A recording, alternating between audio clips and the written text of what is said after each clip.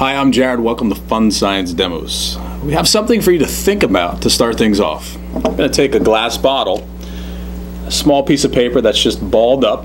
I'm going to put the piece of paper right into the front of the bottle. I'm going to try and blow that paper into the bottle. Doesn't seem too difficult. What do you think's going to happen? Let's see. Wait a second. So what happened there? Why didn't the paper go into the bottle? Why would it come out of the bottle? Well, maybe I didn't blow hard enough. Let's try it again and I'm going to blow a little harder. Let's see what happens. So what's happening? Well, science is happening. There must be something inside the bottle that's pushing the paper out. But I don't see anything, do you? Well, that's the big idea today. That something inside the bottle that pushes back is air. And air pushes things all over the place. Something as simple as that piece of paper, or something a little bit bigger, like an egg. Now, before we look at the egg, let's take a closer look at the air. Through science, we've discovered that air is matter and matter takes up space. Well, how can I see that if I can't see air? Well, look at this bottle a plastic bottle with a cap on, but what's inside the bottle? Air.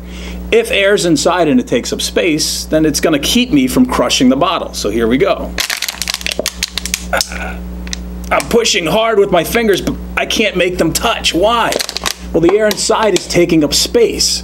What happens if I take the cap off of the bottle? Well, why could I put my fingers together? Because the air rushed out the front of the bottle. I just couldn't see it.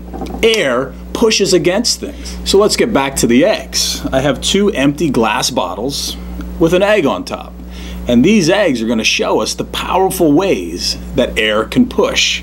Now, through science, we've discovered that there's miles of air above us, and that air is pushing down in all directions. So, why isn't the egg, if air is pushing on this egg, why isn't it going into the bottle? Well, that's because there's air inside the bottle pushing back. So, what would happen if I can take away the air inside the bottle? Well, that's an interesting question that we can see what happens using science. So, how do we get the air out of the bottle? Well, that's where science comes in. We're going to use this piece of paper, we're going to light this piece of paper on fire, we're going to drop the piece of paper in the bottle and put the egg on top. As that paper burns, it heats the air. And then we're going to zoom in so you can take a closer look at the egg. You'll see the air rushing past the egg. The egg will actually vibrate. It's vibrating because the hot air is rushing past the egg. All the air, most of the air, is leaving the bottle. That means all the air up top, above it, in, in this room, miles up above, is, it should push the egg into the bottle. Let's take a closer look and see if that's what happens. Let's watch this happen. Let's take the egg down, light the match, light the paper, let it burn a little bit, drop the egg on, it's bouncing. Pressure of the air pushes the egg into the bottle. Let's take a closer look at what happened. Well, my egg got totally ripped apart. That air pressure pushing down against this bottle ripped the egg apart. Now, I could probably dump these pieces out and clean it up, but what would happen if that egg didn't get ripped apart? When the air pushed the egg in, what if the egg remained whole? How do I get the egg out of the bottle? Well, we're going to try and demonstrate that. Let's try it again with a smaller bottle and see what happens. But remember, if you're going to try this at home, you need a good pair of safety glasses or sunglasses to make sure you're safe. So here we go. Let's try it with the smaller glass bottle. It's important to use glass because plastic could melt. So light the match, get my paper burning, drop it in. The egg went right into the bottle and it's in there, the whole thing. So how do I get it out? Well, I use science.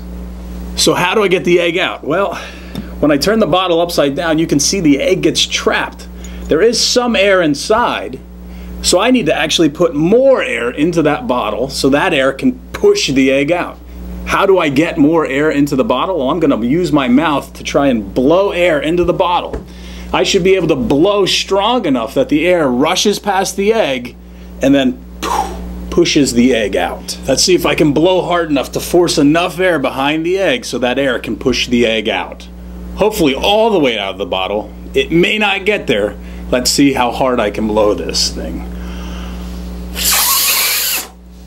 Oh, It's almost there.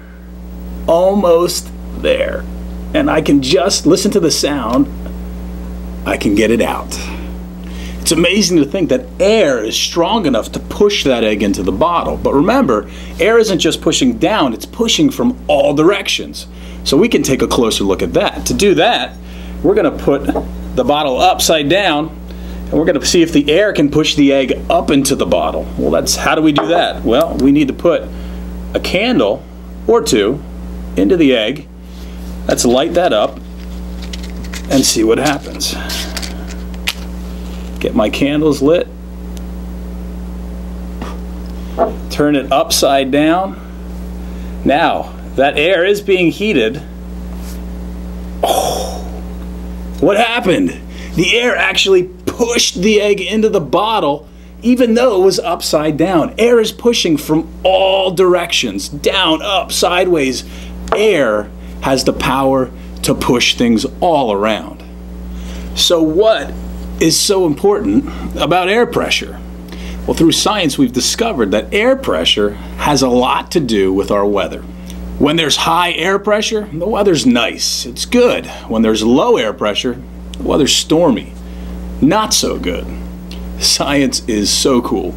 If you want to learn more about air pressure and weather, check out our links in other videos. Thanks for watching.